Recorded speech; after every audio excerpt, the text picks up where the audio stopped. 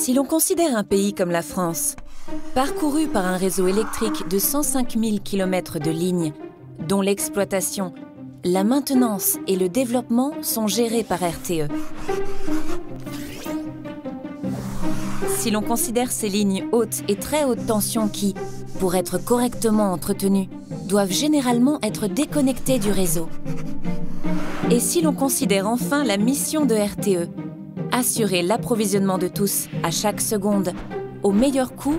et en toutes circonstances. Sachant que, pour gérer les 15 000 interventions qui sont planifiées chaque année, les équipes de RTE ont une parfaite connaissance de leur réseau et savent intégrer au mieux toutes les contraintes qui s'imposent à elles. Sachant également qu'avec la transition énergétique, les sites de production se multiplient et que les comportements et les usages se modifient introduisant de nouveaux aléas qui rendent la maintenance plus complexe que jamais, et sachant que la stratégie et les actions de maintenance de demain différeront de celles d'aujourd'hui, les équipes RTE doivent, face à ces nouveaux enjeux, sans cesse repenser et renouveler leur processus de décision pour que le courant passe, même dans des conditions difficiles, aujourd'hui et demain.